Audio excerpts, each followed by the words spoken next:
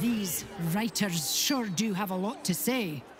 The amount of trees they must have cut down to print all these papers. And people complain about the steel watch taking up resources. Huh. Calling this news? Baldur's mouth prints nothing but lies and drivel. You do well to dump your own copies.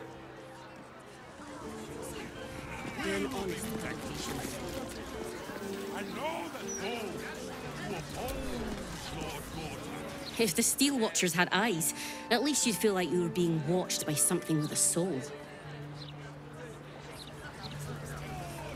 I can still remember a time when it was the editor's judgment we feared most.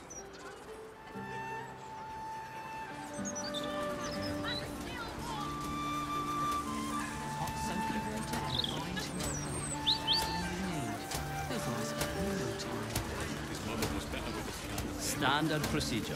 Gortash just wants to make sure that there's no misinformation. The truth is Why, the yes, Edvard. truth. Trust our readers. Can I call you Edvard? Well, Edvard, I do support Lord Gortash's campaign. For several reasons.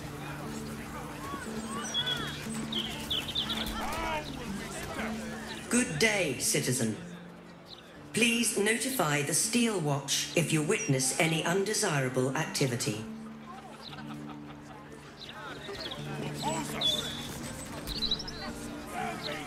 No, we are not censoring the mouth. We are simply doing a routine inspection. And no, I cannot sell you a copy. I am in the middle of official fist business, so kindly step back. Thank you.